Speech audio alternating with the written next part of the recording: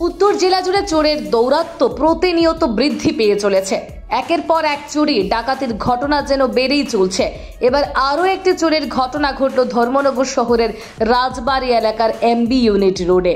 জানা যায়, বাড়ির মালিক সঞ্জয় কুমার দে চিকিৎসার কারণে শিলচর যায়। সোমবার সকালে সঞ্জয় কুমার দে বাড়িতে এসে দেখেন বাড়ির মূল ফটকটি বন্ধ থাকলেও পাশের ছোট গ্রিলের দরজাটি ভাঙা। ভাঙা দরজা দিয়ে এগিয়ে আসতে দেখতে পায় এই দরজা দিয়ে কেউ প্রবেশ করে ভেন্টিলেটর খুলে ঘরের ভেতরে প্রবেশ করেছে এবং নগদ কুড়ি হাজার টাকা সহ স্বর্ণালঙ্কার চুরি করে নিয়ে যায়।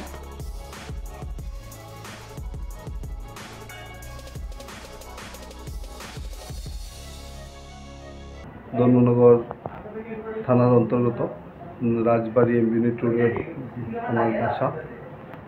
আজকে সকালে আমি আসি আমার ঘরে, দুদিন ছিলাম না, গত শনিবার থেকে আমি শিলচার ছিলাম। এসে দেখি যে আমাদের মেইন গেটের তালাটা ভাঙতে পারেনি।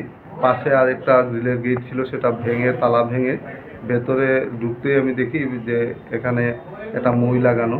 তো উপর দিকে দেখি ভেন্টিলেটারটা ভাঙা ছিল। তারপর ঘরের কোনো ধরনের দরজা, একটা দরজা খোলা ছিল আর বাকি যে লক ছিল দরজাগুলোকে খুলেনি ওই ভেন্টিলেটার দিয়ে কেউ না কেউ ঢুকেছে দেখে সন্দেহ করা যাচ্ছে যে বাচ্চা কেউ ঢুকেছে, ঢুকে লাস্ট দরজাটা খুলে দিয়েছে। তো ভেতরে এসে দেখি সব কিছুই খোলা ছিল। তো কাপড় টাপড় বেশি কিছু নেয়নি। আমার একটা কেবিন ছিল বা লকার ছিল আমার মিসেসের একটা লকার ছিল দুটো লকারই ভাঙা এবং এখান থেকে কিছু টাকা নগদ ক্যাশ ছিল। কত টাকা হবে? টাকা বিশ থেকে বাইশ হাজারের মতন হবে এটা আমি বলতে পারব।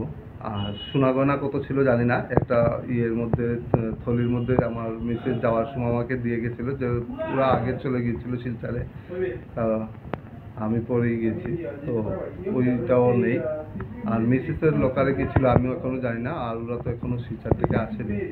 তো ওইখান, এই ক্ষয়ক্ষতি হয়েছে, আর বাকি কোনো কাপড় টাপড় তো নেয়নি। এখন পর্যন্ত যা দেখেছি সব কিছু ঠিক আছে ঘরে। এতটুকুই এখন পর্যন্ত।